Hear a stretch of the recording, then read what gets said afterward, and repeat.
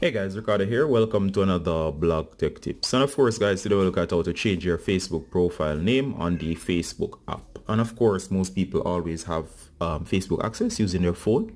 All I'm going to show you to do guys is just simply how to change your profile name or the name that people search for or see as it regards to your profile. And you can do this any number of times, alright? So let's get straight into it. The first thing you want to do guys is just go ahead and find the Facebook app.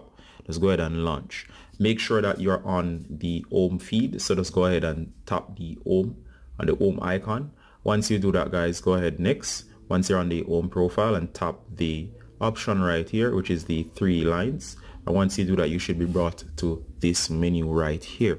Now from this particular menu um, you should most likely be at the top of the menu.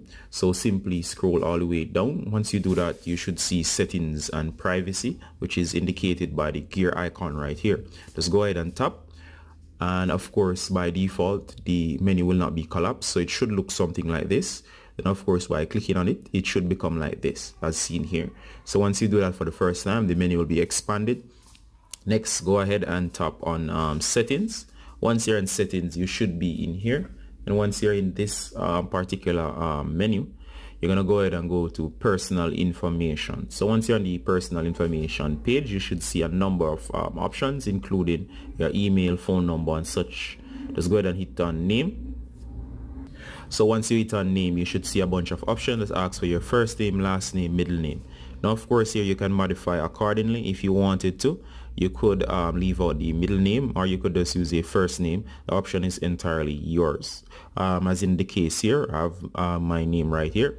If I wanted to I could probably add um, something to the name itself.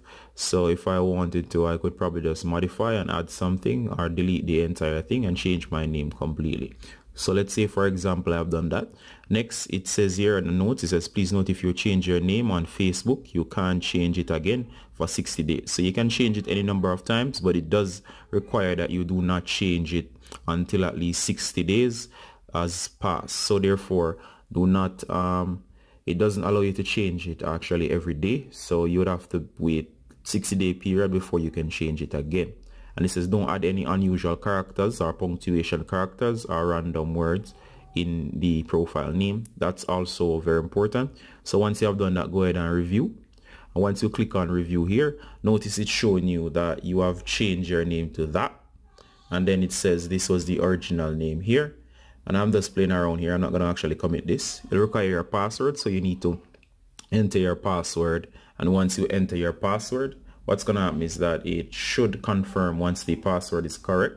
And what you're going to do here is after this is just hit save. By hitting save it will commit the change. And of course 60 days later again if you wanted to you could modify your name once more. Alright guys so this has been how to change your facebook profile name using the facebook app on your phone.